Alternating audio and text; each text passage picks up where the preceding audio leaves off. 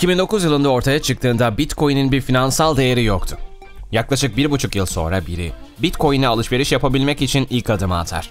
Laszlo Hanyek adında bir Amerikalı, Satoshi Nakamoto ve Bitcoin'e ilgi duyan diğer kullanıcıların kendi aralarında fikir alışverişlerinde bulunduğu Bitcoin Talk forumuna bir ilan vermeye karar verir. Pizza for Bitcoins başlığıyla verdiği ilanda herkese açık bir teklifte bulunur. İki büyük boy pizza karşılığında 10 bin Bitcoin ödeyeceğini belirtir.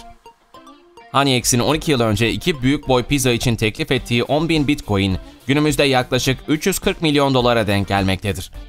Üstelik 10 Kasım 2021'de Bitcoin fiyatı tüm zamanların en yüksek değerine ulaştığında iki pizza karşılığı ödenen 10 bin Bitcoin yaklaşık 687 milyon dolara denk geliyordu.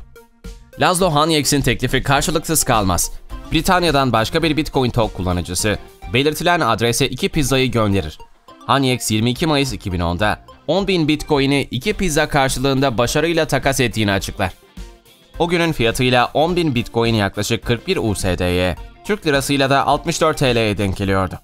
2010 yılında 64 TL değeri olan 10 bin Bitcoin, bugün yaklaşık 5 milyar 200 milyon TL etmektedir.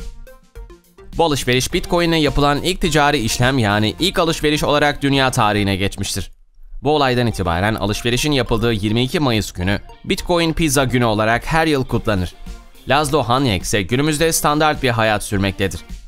Siz Bitcoin'lerinizde pizza almayı mı yoksa biriktirmeyi mi tercih ederdiniz?